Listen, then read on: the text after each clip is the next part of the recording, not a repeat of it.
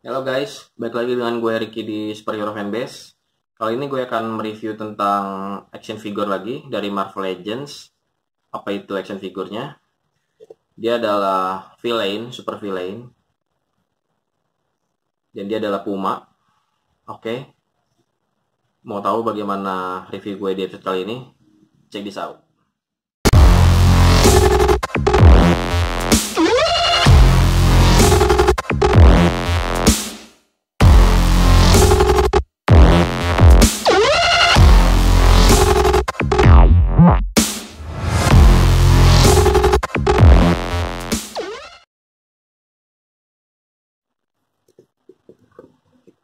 Oke guys, kita langsung saja ke figurnya.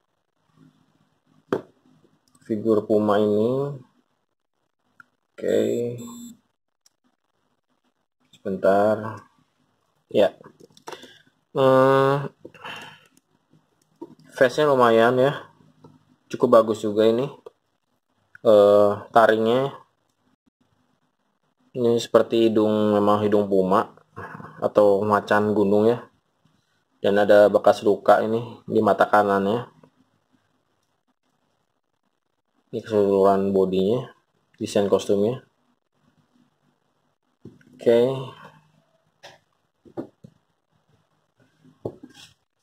hmm, sendinya standar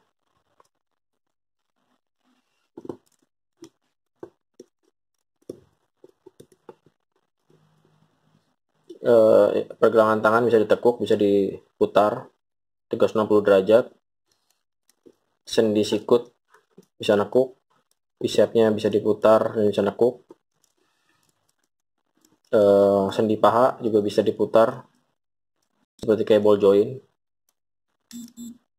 Bisa nekuk, lutut, ankle-nya bisa, cuma agak terbatas karena ada bulunya ini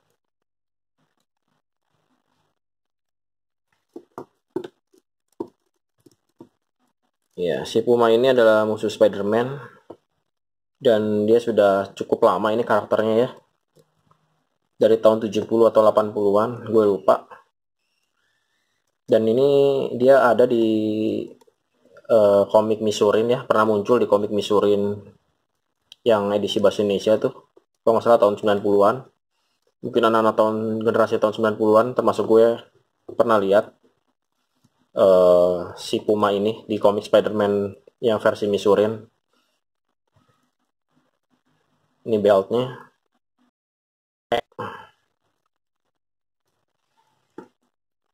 Ini belakangnya. Dan dia tinggal ada aksesoris apa-apa ya guys. Ini nggak ada aksesoris apa pun di figurnya cukup simple. Karena di komiknya juga hanya seperti ini sih yang gue suka dari Marvel Legends ya itu tadi sih maksudnya aksesorisnya nggak nggak nggak gitu ribet. Soalnya kita juga kan nggak nggak semua pakai kalau kita mau display mainan atau bawa mainan aksesorisnya itu. Dan aksesoris juga yang cukup bikin mahal harganya ya. Padahal ya kebanyakan mubazir juga sih. Banyak yang nggak kepake juga aksesnya. Ini ada bulu Indian seperti bulu Indian gitu di bicepnya ini. Dan di belakang kepalanya. Ini seperti ada kalung. Kalung seperti suku suku Indian ya. Oke guys.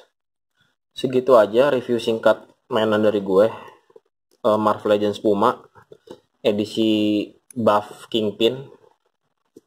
Ini figur belum terlalu lama juga ya sekitar 2018 atau mungkin tahun ini kayaknya ini awal-awal awal-awal tahun ini ya 2019 rilis oke okay. hmm, segitu dulu uh, review singkat action figure Marvel Legends Puma uh, di episode kali ini please kasih saran dan masukannya uh, supaya channel ini dapat bertumbuh dan dapat lebih baik lagi untuk ke depannya. Uh, please like, comment, share, and subscribe. Dan sehat terus buat kita semua. Oke, okay?